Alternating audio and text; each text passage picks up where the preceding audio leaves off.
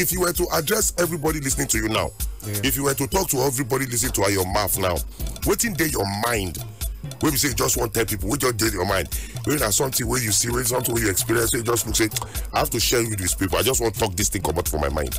Yeah, um, I'll just stay like calm down, pay attention, just calm down. You stay village. calm down Yeah, your mouth. You Calm stay down. village.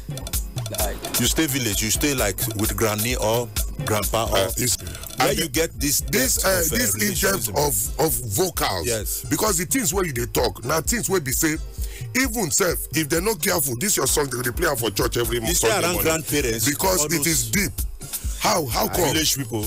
I I stay around my mom all day, all time. now your your relationship with your mom Yeah. how would you describe it Uh I'll describe it as is there um is there anything someone can do? I'll decide you can't everybody can do without food.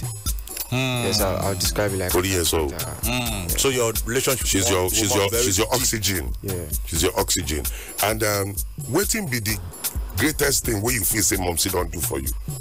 Greatest thing Yeah. is bringing me to this world. Oh, come on, hug me. ah.